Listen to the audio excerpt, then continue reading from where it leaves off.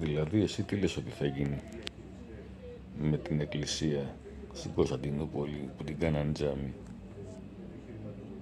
Τίποτα.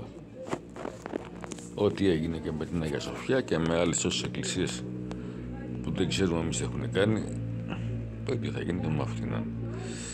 Θα πάει και ο αρχηγός, θα πάει να συζητήσει με τον Μογγόλο εκεί και μία από τα ίδια. Και εδώ εξοπλισμοί και ούτω καθεξής.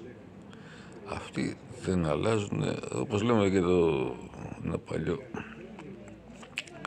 που έλεγε Γέρικο, άλλο προπατησία δεν αλλάζει.